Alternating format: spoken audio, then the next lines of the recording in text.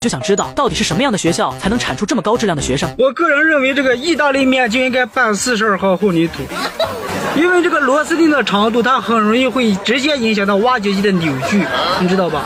你往里砸的时候，一瞬间，它就会产生大量的高能蛋白，俗称 UFO，会严重影响经济的发展。我操！甚至对这个太平洋以及充电器都会造成一定的核核核污染，你知道吧？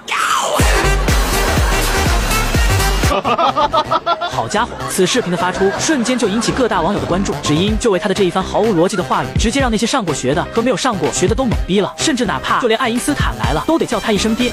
你光吃泡面，混凝土的硬度是远远不够的，你必须加入孔乙己的钢琴碎片，才能使它这个画质变得更加柔顺。最好使用加勒比生产的印第安老斑鸠。再搭配约瑟夫中医馆的翠花干红，就算血常规的各项指标都有所偏差，它能影响到许三多在《西游记》里的老马称号吗？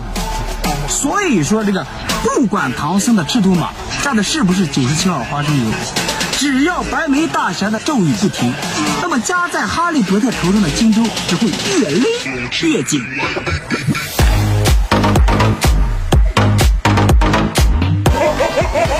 这看上去毫无关系的语句，不注意听起来是有那么一点道理，但仔细一想，这不是净扯犊子吗？更有网友表示，要进你们团队是要看病历本还是看住院记录呢？博主延边刺客打着装傻卖萌的幌子，却做着那些连博士教授都难以化解的事情出来。首先呢，我认为这个 C 罗虽然很强，但是我看好的还是湖人队啊，因为这个丁俊晖最近这几年，无论是这个单杠还是蝶泳，都明显退步了，而且这个张伟国。呃，最近除了研究科学，就是研究左思拳。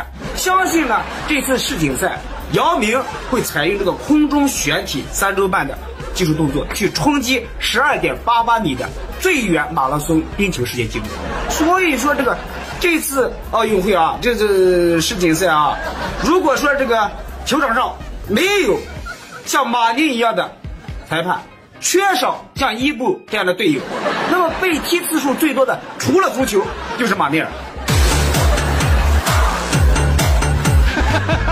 这真是老太太过马路不服是真不行啊！一句话一个领域的词句，硬是让多少人的脑干细胞死于他的嘴下。我个人认为，这个 CP 的颜色不应该取决于半透屏幕的温度啊！你不能仅仅因为在人群中多看了高清一眼，你就觉得宋江可以进世界杯了啊！站在榜一大哥的角度看。抵御诱惑的唯一方法就是屈服于诱惑，尤其是在擦玻璃的夏天。啊，二出祁山之所以不走尖沙咀的原因，难道是因为迈克每次都越狱成功吗？网友神评不看点新闻是真不知道他们说的啥。太阳系的结构受不受康乐曲线的影响？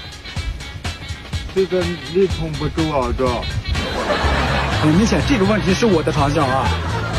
你抛开纤维层理论先不说，我个人建议你在铺满脑筋的走廊里放一个比妖妮大姐还要丰盛的木乃伊，当然他会爱上你啊。至于你们要分泌几尺长的荷尔蒙，要不要欣赏非洲蜗牛的繁殖过程，那得看西门庆能否在戛纳电影节上获得诺贝尔词章奖啊。所以说这个最难科普的还是数学，一旦你引入公式，数学就变成了哲学。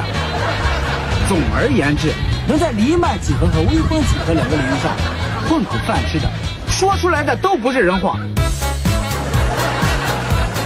不得不说，这视频看了估计都得影响智商。不过，同样如此的还得是当代的这些大学生，硬是把卧龙凤雏的气质表现得淋漓尽致。天上下雨地上滑，你爸姓啥？你姓啥？大对不对？这是大哎。出门打车你得叫出租，你爸的爹你是不是得叫一声大姑啊？啊，那不是那是太厉害！哎，你看啊，人吃粮食羊吃草，你的年龄肯定比你爹还小，那没法是吧？吃饭你得做，别说去这你得啊。你爸和你妈结婚，你肯定没到。啊，滚，滚滚滚，是不是？